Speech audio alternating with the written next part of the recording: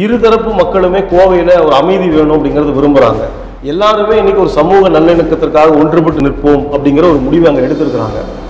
ஆனால் அண்ணாமலை மாதிரியான ஆட்களுக்கு அவரை சார்ந்த கட்சியினருக்கு இந்த சம்பவம் அரசியல் நடத்துறதுக்கு ஏதாவது ஒரு வாய்ப்பு உருவாக்குதா அப்படின்னு தேடிட்டே இருக்கிறாங்க.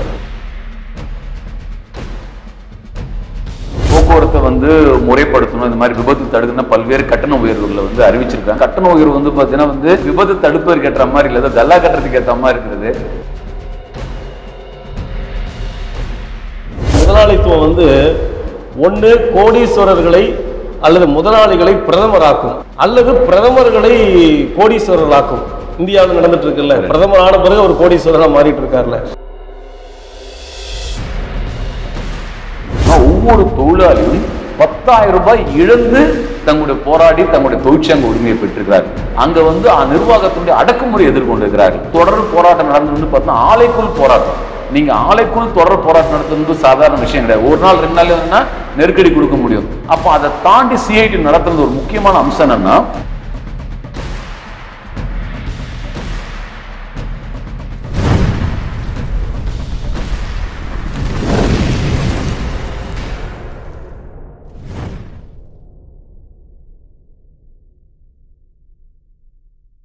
ஒவ்வொரு வாரம் முக்கியமான அரசியல் பிரச்சனைகளை பேசிக்கிட்டு இருக்கோம்.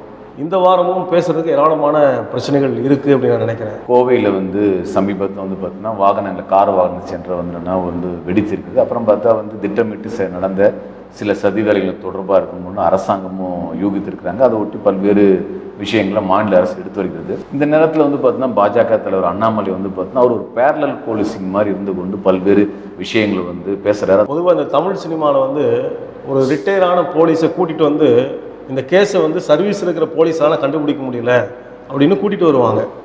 அது மாதிரி அண்ணாமலை வந்து அப்படி ஒரு பெரிய அறிவார்ந்த ஒரு போலீஸ்னு தன்னை நினச்சிக்கிறாரு. ஆனால் உண்மையில் அவர் ஒரு சிரிப்பு போலீஸ் தான். அவருக்கும் அறிவுக்கும் சம்பந்தம் இல்லை அப்படிங்கிறது எல்லாருக்கும் தெரியும். கோவை குண்டுவெடிப்பு பொறுத்த வரைக்கும் அது ஒரு நடந்திருக்கக்கூடாத ஒரு சம்பவம்.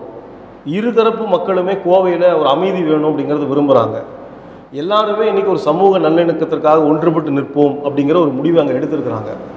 ஆனால் அண்ணாமலை மாதிரியான ஆட்களுக்கு அவரை சார்ந்த கட்சியினருக்கு இந்த சம்பவம் அரசியல் நடத்துறதுக்கு ஏதாவது ஒரு வாய்ப்பு உருவாக்குதா அப்படின்னு தேடிட்டே இருக்கிறாங்க. குறிப்பாக நேற்றைக்கு மீடியாவில் பேசும்போது அண்ணாமலை சொல்லியிருக்கிற ஒரு வார்த்தை என்னன்னா நீங்கள் வந்து அந்த கார் குண்டுவெடிப்பில் இறந்தவருடைய செல்ஃபோன் ஸ்க்ரீன்ஷாட் எனக்கு கிடச்சிருக்கு.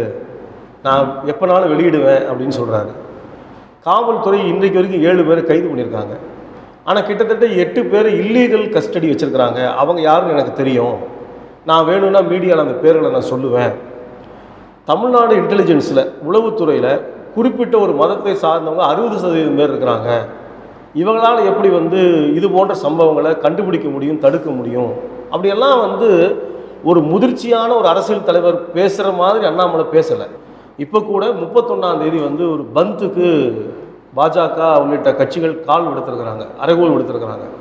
அப்போ அது வந்து என்னென்னா ஒரு மயான அமைதியாக கோவையை போய் தள்ளிவிடணும்னு நினைக்கிறாங்க. ஆனால் மார்க்சிஸ்ட் கட்சி மீண்டும் களத்தில் இறங்கி கட்சியினுடைய பொதுச் செயலாளரே பங்கேற்கிற ஒரு அமைதிக்கான ஒரு சமூக நல்லிணக்க கூட்டத்தை பதினாலாம் தேதி கோயம்புத்தூரில் பல்லாயிரக்கணக்கான மக்களை திரட்டி நடத்த போகிறாங்க அப்போ அவங்களுடைய அணுகுமுறைக்கும் ஒரு மக்களை நேசிக்கிற கம்யூனிஸ்ட் கட்சியினுடைய அணுகுமுறைக்கும் ரொம்ப வித்தியாசமாக இருக்குது இது போன்ற பிரச்சனைகள் அண்ணாமலை அண்ணாமலை மாதிரியான ஆட்கள்கிட்ட எல்லாரும் கவனமாக இருக்கணும். குறிப்பாக கோவை மக்கள் ரொம்ப கவனமாக இருக்கணும் அப்படிங்கிறத பார்க்க வேண்டும். கட்டாயம் கோவை மக்கள் அவங்களுக்கு சொ- சொந்த அனுபவம் இருக்கிறது. கடந்த கால அனுபவம் இருக்கிறது நேற்று முன்தினோட பார்த்தீங்கன்னா கோவை நாடாளுமன்ற உறுப்பினர் தோழர் பி ஆர் நடராஜன் தலைமையில் அனைத்து கட்சி கூட்டம் நடந்து அவங்க வந்து மக்களுக்கு வந்து அறைகோல் கொடுத்துருக்குறாங்க. ஒரு சமூக நல்லிணத்தை பேண வேண்டிய அவசியம் இருக்கின்றது. அரசும் வந்து இந்த விஷயத்தில் வந்து மிக வேகமாக துரிதமாக பல்வேறு நடவடிக்கை எடுப்பதை நம்ம பார்த்து கொண்டிருக்கிறோம். கட்டாயம் வந்து இது வந்து ஒரு உரிய குற்றவாளிகளை அரசு கைது செய்வதும் தொடர்ந்து அந்த கோவை மண்ணில் வந்து என்னென்னா ஒரு சமூக நல்லிணக்கம் பெற என்பதுதான் நம்முடைய விருப்பம். அது கட்டாயம் நடைபெறும் நம்ம நம்புவோம். இப்போ அதே மாதிரி நீங்கள் பார்த்தீங்கன்னா ஆளுநர்களுடைய செயல்பாடு இந்த காலம் இந்த கடந்த காலம் தொடர்ந்து விவாதமாயிட்டு இருக்குது இது என்னது ஆளுநர்களுடைய ஆட்சியா? அது ஆளுநர்கள் வந்து ஏன் இப்படி வந்து இந்த தளங்களில் பேச வேண்டிய சூழல் இன்னைக்கு உருவாயிருக்கிறது? பாஜக ஆளாத மாநிலங்களில் நான் பிஜேபி கவர்மெண்ட் எங்கெல்லாம் இருக்கோ அங்கெல்லாம் வந்து ஒரு அமைச்சரவையை தனியாக நடத்துகிற மாதிரி ஆளுநருடைய செயல்பாடு என்பது இன்றைக்கி எல்லா மாநிலத்திலையும் அதிகரிச்சுட்டே வருது. இப்போ பன்வாரிலால் புரோஹித் வந்து தமிழ்நாட்டில் இருக்கிற போது இந்த முறைகேடு நடந்தது அப்படின்னு இப்போ பஞ்சாபில் போய் அவர் சொல்கிறாரு ஆனால் அவர் இருக்கும் போதே நம்ம மதுரை காமராஜர் பல்கலைக்கழகத்தோட விசி நியமனத்திலிருந்து பல இடங்களில் இந்திய மாணவர் சங்கம் பேசியது மார்க்சிஸ்ட் கம்யூனிஸ்ட் கட்சி பேசியது. அப்போல்லாம் வலுவாக துணைவேந்தர் பதவி வந்து முறைகேடாக நடந்திருக்கின்றது. ஒரு பெண் உட்பட சம்பந்தப்பட்ட பிரச்சனைலாம் மிக விரிவாக பேசப்பட்டது. அப்போதெல்லாம் வாய் திறக்காத ஆளுநர். அமைதியாக இருந்துட்டு பல்லாயிரம் மைல்களுக்கு அந்த பக்கம் பஞ்சாபில் போய் என்ன சொல்கிறாருன்னா இருபத்தி ஏழு துணைவேந்தர் நியமனங்களில் முப்பது கோடி நாற்பது கோடி வாங்கியிருக்காங்க அப்படின்னாரு. கணக்கு போட்டு பார்த்தா ஆயிரத்தி ஐநூறு கோடி. பல்கலைக்கழக துணைவேந்தர் நியமனங்களில் மட்டும் இவ்வளவு பணம் புரண்டுருக்கு. அது மட்டும் இல்லை அன்றைக்கு இருந்த அதிமுக அரசில் தமிழகத்தினுடைய உயர்கல்வித்துறையில் இது மாதிரி பல்லாயிரக்கணக்கான கோடி ரூபாய் முறையீடுகள் ஆசிரியர் பணி நியமனம் எல்லாமே நடந்திருக்கு. அப்போ தடுக்க வேண்டிய ஆளுநர் அப்போவும் பாஜக அரசு தான் இருந்தது. அந்த அரசாங்கத்துடைய கவனத்திற்கு இந்த பிரச்சனைகளை கொண்டு போக வேண்டிய கவர்னர். எதையும் பண்ணாமல் இப்போ வந்து முறைகேடு நடந்தது அப்படின்னு சொன்னார்னா அந்த முறைகேடில் இவருக்கும் பங்கு இருக்காங்கிற ஒரு சந்தேகத்தை நாம் யோசிக்க வேண்டியிருக்கு. ஆகவே அவரையும் உள்ளடக்கி தான் ஒரு விசாரணை நடத்த வேண்டிய தேவை இருக்குது இப்போ நீங்கள் கேரளாவை பற்றி சொன்னீங்க. இப்போ ஆரிஃப் கான் வந்து அங்கே இருக்கிற நிதி அமைச்சரை அமைச்சரவையிலிருந்து நீக்கணும் நான் பரிந்துரை பண்ணுறேன் அப்படின்னு முதலமைச்சருக்கு ஒரு கடிதம் எழுதியிருக்காரு. முதலமைச்சர் ரொம்ப பினராயி விஜயன் ரொம்ப ரொம்ப ஸ்ட்ராங் ரிப்ளை கொடுத்துருக்காரு. மக்களால் தேர்ந்தெடுக்கப்பட்ட அரசு எங்களுடைய அரசு. மக்களால் தேர்ந்தெடுக்கப்பட்ட ஒரு அரசுக்கு போட்டியாக நீங்கள் அரசாங்கத்தை நடத்தணும்னு நினைக்காதீங்க. ஆளுநருக்கு அரசியலமைப்பு சட்டத்தில் ஒரு வரையறை இருக்கிறது ஒரு எல்லை இருக்கிறது. உங்கள் எல்லையை புரிந்து கொண்டு அதற்குள்ளே நீங்கள் நிற்கிறது நல்லது. அதை தாண்டி வந்தீங்கன்னா விளைவுகளை சந்திக்க வேண்டியிருக்கும். அப்படின்னு ரொம்ப கடுமையான ஒரு எச்சரிக்கையை மாநில முதல்வர் சொல்லியிருக்காரு. பாஜக இந்த வந்து குரங்கு குட்டியை விட்டு ஆழம் பார்க்குதுன்னு சொல்லுவாங்கல்ல. அது மாதிரி இந்த கவர்னர்களை குட்டியை விட்டு ஆழம் பார்க்குற மாதிரி அந்த அரசியல் களத்தில் ஏதாவது குழப்பத்தை உருவாக்க முடியுமா அப்படின்னு நினைக்கிறாங்க. நம்முடைய தமிழ்நாடு ஆர் என் ரவி அவர் அப்பப்போ வாரத்துக்கு ஒரு ஸ்டேட்மெண்ட்டு நீங்கள் வந்து கவர்னர் மாளிகையே வந்து கவர்னர் மாளிகை தானா?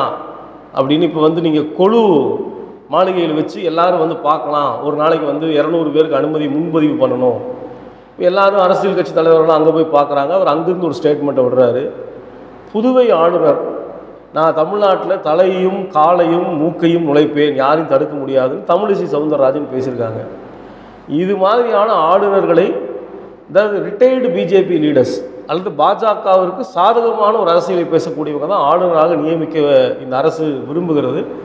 இவங்க மாநிலங்களில் தேர்ந்தெடுக்கப்பட்ட அரசுக்கு போட்டியாக ஒரு அரசாங்கம் நடத்தி மாநில அரசியல் நிலைமைகளை குழப்ப முயற்சி பண்ணுறாங்க மக்கள் ரொம்ப கவனமாக இருக்கணுங்கிறது தான் அந்த கவர்னருடைய நடவடிக்கைகள் நமக்கு உணர்த்துது. கண்டிப்பாக இப்போ அதே காலகட்டத்தில் பார்த்தீங்கன்னா வந்து தமிழ்நாடு அரசாங்கம் சார்ந்த போக்குவரத்துறையும் பல்வேறு விதிமுறைகள்லாம் வகுத்துருக்குறாங்க. கிட்டத்தட்ட பார்த்தீங்கன்னா வந்து சாலை விபத்தில் அதிகமாக இறக்கக்கூடியவர்களுடைய எண்ணிக்கை வந்து அதிகமாகி கொண்டே வருகிறது தொடர்ந்து வருது. அதை எதிர்கொள்வதற்காக பார்த்தீங்கன்னா சில நடவடிக்கை எடுக்கின்ற பேரில் இப்போ போக்குவரத்தை வந்து முறைப்படுத்தணும் இந்த மாதிரி விபத்து தடுக்கணும்னா பல்வேறு கட்டண உயர்வுகளை வந்து அறிவிச்சிருக்காங்க. அது பார்த்தீங்கன்னா கட்டண உயர்வு வந்து பார்த்தீங்கன்னா வந்து இந்த விதி அதாவது வந்து விபத்து தடுப்பதற்கு ஏற்ற மாதிரி இல்லை ஏதோ கல்லா கட்டுறதுக்கு ஏற்ற மாதிரி இருக்கிறது இது எப்படி பார்க்கறது இது? அதாவது நேற்றுக்கு ஒரு மீன் போட்டிருந்தாங்க. ஒருத்தர் ஃபோன் பண்ணி உங்கள் பையன் என்கிட்ட தான் இருக்காரு. இருபத்தேழாயிரரூபா பணம் கொண்டு வந்து அவரை கூட்டிகிட்டு போங்க அப்படின்னோடனே அவர் சொல்கிறாரு இரு இரு நான் போலீஸுக்கு ஃபோன் பண்ணுறேன் நான் பேசுகிறதே போலீஸ் தான் டிராஃபிக் போலீஸு உன் பையன் ஹெல்மெட் போடாமல் வந்திருக்கான் டிரைவிங் லைசன்ஸ் கிடையாது இன்சூரன்ஸ் இல்லை. மொத்தம் இருபத்தேழாயிரம் ஃபைனை கொண்டு வந்து கட்டிட்டு உன் பையனை கூட்டிகிட்டு போ அப்படின்னு பேசுகிற மாதிரி ஒரு மீம் வந்துருது இன்றைக்கி தமிழ்நாடு அரசு இந்த போக்குவரத்து விதி மீறலுக்கு அறிவித்திருக்கிற கட்டண உயர்வு பாருங்கள் அது அநேகமாக வண்டி அந்த இடத்துல விற்றா தான் கட்ட முடியும். என்னோட டூ வீலரு ஐயாயிரம் ரூபா தான். இதுக்கு நீங்கள் பத்தாயிரம் ஃபைனை போட்டிங்கன்னா நான் எதுக்கு இந்த டூ வீலர் ஓட்டிட்டு போகணுன்னு கேட்குற மாதிரி தான் நீங்கள் வந்து ஹெல்மெட்டு போடலைன்னா இது வரைக்கும் நூறுரூவா ஃபைன் இப்போ ஐந்தாயிரம் ரூபாய் ஃபைனு அதே போல் ஓவர் ஸ்பீடு போனீங்கன்னா நீங்கள் வந்து ஐந்தாயிரம் ரூபாய் ஃபைனு இல்லை ஒரு வகையில் நல்லது தானே இது இப்போ? இது மாதிரி போட்டால் இன்னொரு பக்கம் பார்த்து. இல்லை அதாவது வந்து பொதுவாக வந்து இதர சட்டங்கள் எல்லாமே வந்து நாம் அடுத்தவரை துன்புறுத்தக்கூடாது என்பதற்காக இருக்குது போக்குவரத்து சட்டங்கள் முழுக்க நமக்கு எதுவும் ஆயிடக்கூடாதுங்கிறது தான் இருக்குது ஸோ போக்குவரத்து சட்டங்களை அமுலாக்குறதுல மாற்று கருத்து இல்லை. ஆனால் என்ன இந்த அரசு பண்ணணும்னா பேரலெல்லாம் வந்து நீங்கள் இன்ஃப்ராஸ்ட்ரக்சரை டெவலப் பண்ணணும். சாலைகளை பாலங்களை பொது போக்குவரத்துக்கு உண்டான கட்டமைப்பை பூரா நீங்கள் மேம்படுத்தாமல் திடீர்னு இப்போ இப்போ என்ன செய்தி வந்திருக்கு? இன்னைக்கு தான் சட்டம் வந்து அமுலாகுது. இப்போ என்ன செய்தி வந்திருக்குன்னா காலையில் பத்து மணி வரைக்கும் சென்னையில் இரண்டாயிரத்தி ஐநூறு வழக்குகள். பதிவு செய்யப்பட்டு இருபத்தி ஒரு லட்ச ரூபா அபராதம் வசூலிக்கப்பட்டிருக்கு. இப்போ நாளைக்கு யாருமே காரையோ டூ வீலரையோ எடுத்துகிட்டு வெளியில் போவாங்களா? வழிப்பறி கொள்ள மாதிரி அங்கங்கே நின்னாங்கன்னா என்ன பண்ணுறதுங்கிற ஒரு அச்சம் வந்து உருவாகிருக்கு அப்போ கட்டணங்களை வந்து நீங்கள் வசூல் பண்ணலாம் அல்லது வந்து அபராதம் விதிக்கலாம். இதுக்கான விழிப்புணர்வு உருவாக்க வேண்டியிருக்கு. பப்ளிக் மத்தியில் வந்து ஒரு அவேர்னஸை கிரியேட் பண்ணாமல் நீங்கள் வெறுமனே சட்டங்களை காட்டி மட்டும் மக்களை வந்து கட்டுப்படுத்திட முடியுமா? அப்படிங்கிற ஒரு கேள்வி இருக்குது தமிழக அரசு இது வந்து உரிய முறையில் அமுலாக்கட்டும். ஆனால் மறுபரிசீலனை செய்து பப்ளிக் ஒப்பீனியன் கேட்கணும்.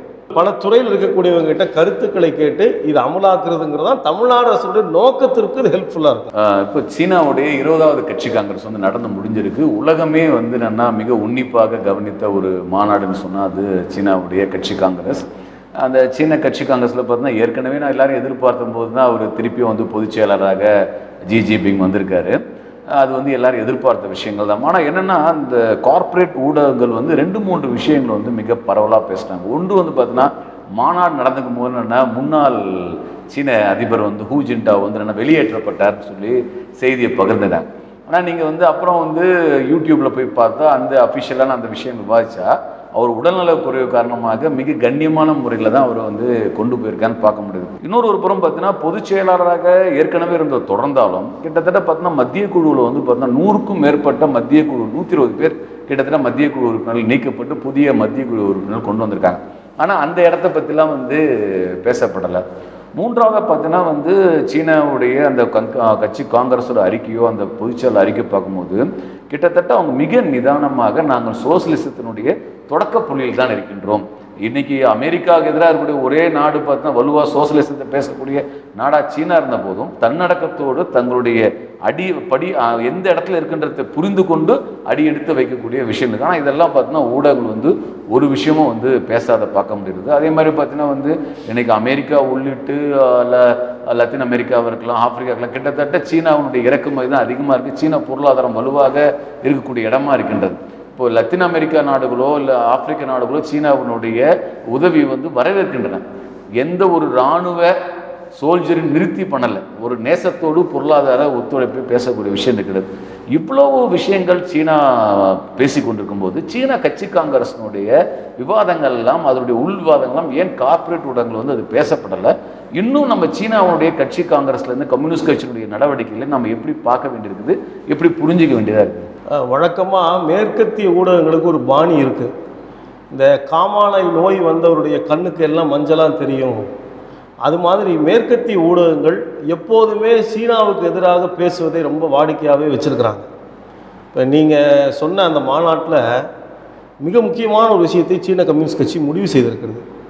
ரெண்டாயிரத்தி இருபத்தி ஏழில் அநேகமாக உலகத்தில் எந்த நாட்டிலும் ஒரு குடிமகன குடிமகனுக்கு கிடைக்காத ஒரு வாழ்க்கை நிலைமையை எங்களால் உத்தரவாதப்படுத்த முடியும் அப்படிங்கிற ஒரு இலக்கை நாங்கள் ஐந்து ஆண்டில் வச்சுருக்கிறோம் அப்படின்னு சீன கம்யூனிஸ்ட் கட்சி முடிவு பண்ணியிருக்கு ஏற்கனவே ஐக்கிய நாடுகள் சபை என்ன சொல்லியிருக்குன்னா நீங்கள் வந்து வறுமையை ஒழித்த முதல் நாடு சீனா அப்படின்னு சொல்லியிருக்கு. உலகத்தில் இருக்கக்கூடிய அமெரிக்காவை சொல்லலை வளர்ந்த பல முதலாளித்துவ நாடுகளை சொல்லலை.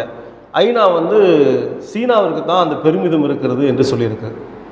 சீனாவில் தான் வந்து தனிநபர் வருமானம் உலகத்தில் இருக்கிற எல்லா நாடுகளையும் விட ரொம்ப அதிகமான இடத்துல இருக்குது இப்போ கோவிட் உலகமே திண்டாடின பிரச்சனையை ரொம்ப ஈஸியாக ஹேண்டில் பண்ணாங்க. நூறு நாடுகளுக்கு மருந்துகளை இலவசமாகவும் கொடுத்த ஒரு நாடாக இருக்குது இதெல்லாம் சைனா குறித்து பேசுவதற்கு இவ்வளோ விஷயங்கள் இருக்கிறது ஆனால் எந்த இடத்துலையுமே ஒரு முதலாளித்துவத்திற்கு ஈக்குவலாக அல்லது பேரலாக அதற்கு மேலே சைனா வந்துடக்கூடாதுங்கிறதுல உலக ஊடகங்கள் வந்து ரொம்ப தெளிவாக இருக்குது மேற்கத்திய ஊடகங்கள்.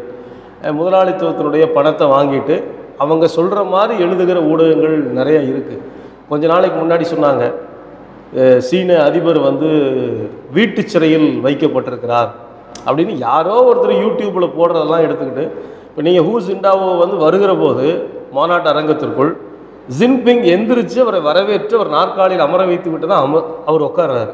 இப்போ ஒருவேளை அந்த வீடியோ வரலன்னு என்ன ஆயிருக்கும்? இவர் உடல்நிலை சரியில்லாமல் வெளியே போன வீடியோ மட்டும் இருந்ததுன்னு வச்சுங்களேன். நீங்கள் சொல்கிற மாதிரி வந்து இவர் வெளியேற்றப்பட்டார் கட்டாயமாக அப்படின்னு இருக்கும். ஸோ சீனா வந்து நீங்கள் சொன்ன மாதிரி தன்னை சுய பரிசோதனை செய்து கொண்டு முன்னேறி கொண்டிருக்கிறது. சீனாவை பற்றி எப்படி கார்ப்பரேட் ஊடகங்கள் பேசுதுன்னு பார்த்தீங்க. இப்போ வந்து பார்த்தீங்கன்னா இங்கிலாந்துக்கு வந்து என்னென்னா இப்போ புதிய பிரதமர் ரிஷி சுனக் வந்திருக்காரு.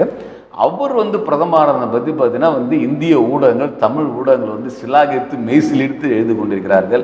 ஆனால் பார்த்தீங்கன்னா அவரும் அவங்க மனைவியும் பார்த்தீங்கன்னா வந்து இங்கிலாந்து நாட்டில் வரி கட்டாமல் வரி ஏய்ப்பு சேர்ந்துள்ள என்பது குறித்து வசதியாக பேச மறந்து விட்டார்கள். கிட்டத்தட்ட வந்து பார்த்தீங்கன்னா அவருடைய வளர்ச்சியே வந்து என்னென்னா வந்து அவருடைய பொருளாதார வளர்ச்சி உற்பத்தி சாராமல் இந்த ஃபண்டில் போட்டு வந்தது தான் நீங்கள் வந்து நிதி மூலதனத்தின் மூலமாக அவருடைய மூலதனத்தை பெருக்கிய ஒரு நபர் என்பதையும் பார்க்க முடிகிறது. இப்போ இங்கிலாந்தினுடைய நெருக்கடியை ரிஷி சுனக் தீர்த்து விடுவாரா? அப்படி பெருசாக வாய்ப்பு இருக்குதுன்னு எனக்கு தோணலை. அதாவது வந்து நான் என்னோட முகநூலில் கூட பதிவு பண்ணியிருந்தேன். அவருடைய சொத்து மதிப்பு எழுநூற்றி முப்பது மில்லியன் பவுண்டு. இந்திய ரூபாயில் கணக்கு போட்டிங்கன்னா கம்மி தான் ஆறாயிரத்தி தொள்ளாயிரத்தி முப்பத்தஞ்சு கோடி. அதான் அவருடைய சொத்து மதிப்பு. இதை பார்க்குற போது ஒன்று தான் தெரியுது. என்னன்னா இந்த முதலாளித்துவம் வந்து ஒன்று கோடீஸ்வரர்களை அல்லது முதலாளிகளை பிரதமராக்கும் அல்லது பிரதமர்களை கோடீஸ்வரர்களாக்கும். இந்தியாவில் நடந்துட்டு இருக்குல்ல பிரதமர் ஆன பிறகு அவர் கோடீஸ்வரராக மாறிட்டு இருக்கார்ல முதலாளித்துவத்தினால் இதுதான் முடியுமே தவிர உண்மையான மக்கள் பிரச்சனைகளை தீர்ப்பதற்கு தனிநபர் சாகசங்களால் எதுவும் பண்ண முடியாது. ஏன் அந்த நாற்பத்தி நாலு நாள் இருந்த பிரதமரால் செய்ய முடியல அதை? அதாவது வந்து இந்த ரிஷி சுனக் வந்து போரிஸ் ஜான்சனுடைய மினிஸ்ட்ரியில் ஃபினான்ஸ் மினிஸ்டராக இருந்தார். அவர் ரிஃபார்ம்ஸ் வேணும் மோர் ரிஃபார்ம்ஸ் வேணும் இல்லாட்டி இங்கிலாந்து வந்து இந்த பொருளாதார நெருக்கடியிலிருந்து மீள முடியாதுன்னு சொல்லி அஜிடேட் ஆகி முதல்ல ரிசைன் பண்ணவர் இப்போ கூட பதவி ஏற்றதுக்கு பிறகு என்ன சொல்லியிருக்காருன்னா I am for more reforms இன்னும் கூடுதலான சீர்திருத்தங்களை நோக்கி நான் போக போகிறேன் என்று தான் சொல்றாரு. பிரிட்டனில் இருக்கிற முதலாளிகளைத்தான் அவர் பாதுகாப்பாரே தவிர அப்போ அங்கே இருக்கிற தொழிலாளர்களுக்கோ இங்கிலாந்தினுடைய பிரிட்டனுடைய தேவைகளை நிறைவேற்றுவதற்கோ இவருடைய பிரதமர் பதவி ஒருபோதும் உதவப் போவதில்லை. எல்லா முதலாளித்துவ நாடுகள்லையும் தோல்வியை பார்த்துட்டே இருக்கிறோம். அந்த பட்டியலில் பிரிட்டனும் சேரப்போகுதுங்கிறத தவிர இதில் புதுசாக சொல்கிறதுக்கு ஒன்றும் இல்லை. உண்மையாக இன்னொரு ஒரு விஷயமும் அதை பார்க்க வேண்டியிருக்குது. கிட்டத்தட்ட பார்த்தீங்கன்னா இங்கிலாந்து நாடு வந்து இன்னும் ஒரு வளர்ந்த முதலாளித்துவ நாடு. இன்றைக்கி ஒரு மிகப்பெரிய நெருக்கடியில் இருக்குது. உலகம் முழுக்க வந்து என்னன்னா பல நாடுகள் வந்து பொருளாதார நெருக்கடியில் இருக்கிறது நம்ம பார்க்க முடியுது. அப்போ வந்து இந்த முதலாளித்துவ சமூக அமைப்பு ஏற்கனவே வந்து நெருக்கடியில் இருந்தவனோட ஒரு நியோ லிபரலிசம் என்னக்கூடிய நவதாராளவாதத்தை முன்வைத்தார்கள். இன்னைக்கு அவங்க முன்வைத்த நவதாராளவாதம் தோல்வியுற்று முதலாளித்துவம் வந்து முட்டு சந்தையில் நிற்கிறது. அப்போ அதை எதிர்கொள்வதற்கு இங்கிலாந்தில் இருக்கக்கூடிய உழைக்கும் வர்க்கம் தயாராக வேண்டியிருக்கின்றது உலகெங்கும் இருக்கக்கூடிய உழைக்கும் வர்க்கம் தயாராக வேண்டிய காலகட்டத்தில் நாம் இருக்கணும். அது தயாராகாத வரைக்கும்னா இப்படி போன்ற ஜிமிக்ஸை வந்து என்னன்னா வலதுசாரிகள் வந்து செய்து கொண்டிருப்போம் என்பதை நம்ம பார்க்க வேண்டியதாக இருக்கு. அதான் நெருக்கடி வருகிற போது முதலாளித்துவ நாடுகள் நபர்களிலிருந்து தீர்வு கிடைக்குமான்னு தேடுது. பிரச்சனை கொள்கையிலிருந்து தான் தீர்வு கிடைக்கும். மாற்று கொள்கை தான் தேவையே தவிர மாற்று நபர்கள் அல்ல. இங்கிலாந்தும் விரைவில் அதை உணரப்போகிறது. இப்போ நீங்கள் வந்து சென்னை தொழிலாளர்கள் ரொம்ப குவியலாக இருக்கக்கூடிய ஒரு மையத்தில் இருக்கீங்க. சென்னையில் சமீபத்தில் யமகா போராட்டம் தமிழ்நாடு முழுக்க கவனிக்கிற ஒரு போராட்டமாக இருந்தது. கிட்டத்தட்ட பத்து நாட்கள் தொழிலாளர்கள் வீடுகளுக்கு போகாமல் அதுவும் தீபாவளி பண்டிகை நெருங்குகிற சமயத்தில் வந்து அவங்க ஒரு முக்கியமான கோரிக்கையோடு ஒரு போராட்டத்தை நடத்தினாங்க. அநேகமாக அந்த போராட்டம் என்பது வெற்றி பெற்றிருக்கிறது. அதை பற்றி நீங்கள் என்ன நினைக்கிறீங்க? கண்டிப்பாக இது வந்து பார்த்தீங்கன்னா வந்து சென்னையில் வந்து எழுபதுகளில் வந்து உக்கிரமாக ஒவ்வொரு தொழிற்சாலைகளிலும் வந்து செங்கோடி இயக்கம் நடத்திய உரிமை போராட்டங்கள் வந்து வரலாற்றில் பதிவு செய்ய வேண்டிய முக்கியமான அம்சங்கள். இப்போ சென்னையினுடைய புறநகரில் இருக்கக்கூடிய பகுதிகளில் ஸ்ரீபெரும்புத்தூர் இதை ஒட்டி இருக்கிற இடங்களில் அந்த ஆலைகள் வந்து அங்கே போயிருக்கின்றது. அந்த இடத்துல வந்து பார்த்தீங்கன்னா கடந்த பத்து பதினைந்து வருடங்களாக சிஐடி வந்து பார்த்தீங்கன்னா தொடர்ச்சியாக அந்த இடத்துல போராடி தொழிலாளிக்கு எந்த விதமான உரிமையும் இல்லை உரிமையும் கொடுக்க முடியாது என பன்னாட்டு கார்ப்பரேட் நிறுவனம் சொன்ன இடத்துல வந்து பார்த்தீங்கன்னா செங்கோடி நட்டு தொழிலாளி உரிமையை பெற வைப்போம் என்பதை உறுதியாக நின்று ஒவ்வொரு அடியாக வச்சு வச்சு வச்சு வச்சு முன்னேறுது சிஐடியும் அதனுடைய அந்த போராட்ட வரலாற்றில் இப்போ வந்து யமகா தொழிற்சங்க போராட்டம் என்பது ஒரு மிக சிறந்த வெற்றி ஒரு போற்றத்தக்க வெற்றி என்பதை பார்க்க முடியுது. கிட்டத்தட்ட பார்த்தீங்கன்னா நான் வந்து அந்த தொழிற்சங்க தலைவர்கள் வந்து பார்த்தீங்கன்னா தோழர் சவுந்தரராஜன் முத்துக்குமார் கண்ணன் போன்றவர்கள்லாம் பேச்சுவார்த்தை நடத்திருக்காங்க களத்தில் இருந்திருக்கிறாங்க. அவங்க கூட பேசும்போது என்ன சொல்கிறாங்கன்னா ஒவ்வொரு தொழிலாளியும் பத்தாயிரம் ரூபாய் இழந்து தங்களுடைய போராடி தங்களுடைய தொழிற்சங்க உரிமையை பெற்றிருக்கிறார்கள். ஒரு தொழிலாளி தான் சங்கம் வேணும் என்பதற்காக பணத்தை இழந்திருக்கிறார்கள். அங்கே வந்து நிர்வாகத்தினுடைய அடக்குமுறை எதிர்கொண்டிருக்கிறார்கள். கிட்டத்தட்ட நீங்கள் வந்து ஒரு தொடர் போராட்டம் நடந்து வந்து பார்த்தீங்கன்னா ஆலைக்குள் போராட்டம். நீங்கள் ஆலைக்குள் தொடர் போராட்டம் நடத்துறது சாதாரண விஷயம் கிடையாது. ஒரு நாள் ரெண்டு நாள் வேணும்னா நெருக்கடி கொடுக்க முடியும். அப்போ அதை தாண்டி சிஐடி நடத்துறது ஒரு முக்கியமான அம்சம் என்னென்னா காவல்துறை ஆட்சியாளர்கள் அதிகார வர்க்கம்லாம் அதை வந்து சீர்குலைக்க பார்த்துக்கிறார்கள் ஆனால் சிஐடியு கடந்த பத்து பதினைந்து வருடங்களாக ஒட்டுமொத்தமாக அந்த பகுதியில் வந்து தொழிலாளர் அணிதிரட்டத்தின் காரணமாக எல்லா இடத்துலையுமே சிஐடி கூட இருந்ததுனால சகோதர ஆதரவை அவங்களால பெருக்க முடியுது. இப்போ யமகா தொழிலாளிக்கு ஆதரவாக சுத்து வட்டாரத்தில் இருக்கக்கூடிய தொழிற்சங்கத்தில் ஆலைகளை பெறக்கூடிய தொழிலாளி வந்து ஆதரவு இயக்கத்துக்கு வந்துட்டாங்க. அப்போ என்ன ஆயிடுச்சுன்னா யமகாவை தொட்டா நான் வருவேன்டான்னு சொல்லிட்டு எல்லா பக்கத்துல இருந்தும் என்னன்னா தொழிலாளி வர ஆரம்பிச்சாங்க. ஒன்று ரெண்டாவது வந்து பார்த்தீங்கன்னா அமைப்பு சாரா தொழிலாளர்களை இவனுக்கு ஆதரவாக திரட்டினார்கள். இன்னொரு ஒரு கட்டத்தில் பார்த்தீங்கன்னா யமகாவுடைய அந்தந்த ஆலைகள் முன்பாக அவங்க ஷோரூம் முன்பாக போராட்டம் நடத்துவதற்கு சிஐடி அறைகள் கொடுத்து அப்போ என்னன்னா ஒரு சகோதர ஆதரவு இயக்கத்தை மிக கச்சிதமாக சிஐடியுடைய தலைமை முன்னெடுத்து வந்து பார்த்தீங்கன்னா உள்ளே இருக்கிற போராட்டங்களுக்கு ஒரு நம்பிக்கை கொடுத்தது. அந்த உள்ள இருக்கிற போராட்டங்கள் பார்த்தீங்கன்னா எல்லாமே இளம் தொழிலாளர்கள் கிட்டத்தட்ட பார்த்தா திருமணமானவர்கள் கை குழந்தை வைப்பவங்க இல்லை அவங்க மனைவி வந்து ப்ரெக்னெண்ட்டாக இருக்கிறவங்க இப்படியாக இளம் தொழிலாளர் வாழ்க்கையினுடைய எல்லா விதமான ஆசைகளும் அபிலாஷைகளையும் வெளிப்படுத்தக்கூடிய ஒரு இளமையில் இருக்கிறவர்கள். ஆனால் சிகப்பு கொடியை வச்சுக்கிட்டேன்னா நான் வரேன் என் சங்கத்தை அங்கீகரின்னு சொல்லிட்டு போராட்டம் நடத்திருக்கிறார்கள் இதில் நீங்கள் ஒரு முக்கியமான விஷயம் பார்த்தீங்கன்னா நீதிமன்றமே வந்து என்னன்னா வந்து என்னன்னா இவங்க போய் கேட்குறாங்க அந்த எமகா நிர்வாகம் இவனை வெளியே அனுப்புறதுக்கு உத்தரவுன்னு சொல்லிட்டு நீதிமன்றம் உத்தரவிடலை. ஏன் நீதிமன்றம் உத்தரவிடலைன்னு சொன்னால் அந்த அளவுக்கு வந்து பார்த்தீங்கன்னா கல நிலைமை வந்து முழுக்க முழுக்க வந்துடும்னா தொழிலாளிகளுடைய ஆதரவாகின ஒரு சூழல் உருவாயிருந்தனால நீதிமன்றம் உத்தரவிட முடியாதுன்னு சொல்லிட்டாங்க. எனவே பார்த்தீங்கன்னா தீபாவளி நெருக்கத்தில் வைத்துக்கொண்டு பண்டிகையை வைத்து தொழிலாளியை வந்து மிரட்டிடலாம் இல்லை வந்து ஏதாவது சீர்குலைவு செய்யலாம்னு எமகா நிறுவனம் முயற்சி எடுத்தது ஆனால் அந்த எத்- எல்லா எல்லா விதமான முயற்சியும் தவிடுபடியாக்கி தொழிற்சங்க உரிமை ஒரு இங்கே சென்னையில் சொல்லுவோம் ஒன் யூனியன் ஒன் இண்டஸ்ட்ரின்னுவோம் இப்போ வந்து தொழிற்சங்கத்துக்கு வந்து அந்த தேவையான தொழிற்சங்கத்தை அந்த தொழிலாளிகள் தேர்ந்தெடுப்பார்கள் எனக்கூடிய அந்த உடைய பெருவாரின தொழிலாளிகள் தேர்ந்தெடுக்கக்கூடிய தொழிற்சங்கம் தான் அங்கீகரிக்கப்பட்ட தொழிற்சங்கம் எனக்கூடிய அந்த உரிமை நிலைநாட்டிருக்கிறார். உண்மையிலே நம்முடைய சிஐடினுடைய தலைவர்களுக்கும் இந்த போராட்டத்தில் ஈடுபட்ட தொழிலாளிகள் ஆதரவு கொடுத்த தொழிலாளிகளை நம்ம வந்து மனதார பாராட்ட வேண்டிய விஷயம் இருக்கின்றது. தொழிலாளி தன்னுடைய ஒடுக்குமுறை அடக்குமுறை மூலமாக அரசியல்படுத்தப்படுவார் என்பது என்னன்னா இன்னைக்கு நிரூபணமாக இருக்கின்றதை நம்ம பார்க்க முடிகிறது. அதோடு சேர்ந்து நான் என்ன பார்க்கணும்னு சொன்னால் நீங்கள் வந்து என்னென்னா இன்னைக்கு இருக்கக்கூடிய ஒரு முதலாளித்துவ சமூகத்தால் நீங்கள் வந்து எந்த மக்களுக்கும் வந்து எந்த நிவாரணம் கொடுக்கவே முடியாது. அவன் அடக்குமுறை ஒடுக்குமுறை தான் ஏவ முடியும் ஏவ முடியும் என்பது நிரூபணமாகி கொண்டிருக்கிறது. தொழிலாளி தொழிலாளி வர்க்கம் அதை எதிர்த்து முன்னேறும் என்பதற்கு ஒரு நம்பிக்கை அளித்த விஷயமா நான் யமகா போராட்டத்தை பார்க்குறேன். அதான். அதாவது வந்து இப்போ வந்து ஃபினான்ஸ் கேபிட்டல் உலகத்தில் எல்லா நாடுகள்லேயும் வந்து நிதி மூலதனம் வருது. அதை எல்லாருமே வரவேற்கிறாங்க. வந்தால் தான் இங்கே தொழில் தொடங்க முடியுங்கிறதுக்காக ஒரு பாலிசி ரொம்ப ஃப்ளெக்சிபிளாக ஒரு இலகுவான பாலிசியாக எல்லா மாநில அரசுகளும் ஒன்றிய அரசாங்கம் மாற்றிக்கிட்டே இருக்காங்க. ஆனால் என்ன பிரச்சனை வருதுன்னா யமகாலிருந்து புரிஞ்சுக்க வேண்டியிருக்கு வரக்கூடிய அந்த நிதி மூலதனம் வந்து பல கட்டுப்பாடுகளை விதிக்குது. தான் சொல்கிறது தான் நடக்கணும்னு க- கட்டளை போடுது. இன்னொன்று உழைப்பு சுரண்டலை ஊக்குவிக்குது. இப்போ கூட வந்து மூன்லைட் பாலிசி அப்படின்னு ஒரு பாலிசியை டிஸ்கஸ் பண்ணிருக்காங்க எல்லாருமே. என்னன்னா ஒரு தொழிலாளி ஒரே நேரத்தில் இரண்டு நிறுவனங்களுக்கு வேலை பார்க்கலாம். அது அவருடைய ஆப்ஷன் இப்போ ஏற்கனவே எட்டு மணி நேர வேலையை தாண்டி பன்னிரெண்டு பதிமூணு மணி நேர வேலை தான் ஐடி இண்டஸ்ட்ரியில் வேலை பார்க்குறாங்க. இந்த மூன்லைட் பாலிசி என்ன சொல்லுதுன்னா ஒரு தொழிலாளி காலையிலேருந்து மதியம் வரைக்கும் ஒரு நிறுவனத்துலையும் மதியத்துக்கு மேலே இரவு வரைக்கும் நிறுவனத்துலையும் பணியாற்றலாம் அப்படிங்கிறத ஊக்குவிக்குது. அப்படின்னா வந்து அவர்களுக்கான சமூக உரிமைகளை எந்த நிறுவனம் உறுதிப்படுத்தும்? ஈஸியாக சொல்லிடுவாங்க நீ என்னோட பர்மனண்ட் ஒர்க்கர் கிடையாது. நீ வந்து ஒரு பார்ட் டைமாக தான் எங்கிட்ட இருக்க. ஸோ எங்கிட்ட நீ அதையெல்லாம் எதிர்பார்க்கக்கூடாதுன்னு அந்த நிறுவனமும் சொல்லலாம். இவர் ஆப்ட் பண்ணுற வேறு நிறுவனமும் சொல்லலாம். ஸோ அப்படி வந்து ரொம்ப ஃப்ளெக்சிபிள் லேபர் பாலிசிங்கிற முறையில் வந்து போயிட்டுருக்கு. உழைப்பு சுரண்டல் என்பது வேறு விதமான ஒரு பரிணாம வளர்ச்சி அடைந்திருக்கிறது அப்படிங்கிறத தான் பார்க்க முடியுது. இப்போ நீங்கள் சொன்னதுலேருந்து ஒன்று புரியுது. என்னென்னா ஒரு சாலிடாரிட்டி ஒர்க்கர் சாலிடாரிட்டி தொழிலாளர்கள் வந்து நாம் அனைவரும் தொழிலாளர்கள் தான். நம்ம இந்த சுரண்டலிலிருந்து நம்மை பாதுகாத்து கொள்ள முடியும்னு சொன்னால் நாம் கையில் நமக்கு இருக்கிற ஒற்றை ஆயுதம் என்பது வர்க்க உணர்வும் செங்கொடியும் தான்.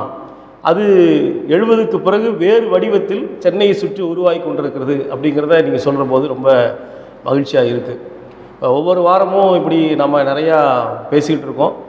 தொடர்ந்து பேசுகிறதுக்கு நிறைய விஷயங்களும் இருக்குது தொடர்ந்து நாம் சொல்வது தெளிந்து சொல் நிகழ்ச்சியில் பேசலாம்.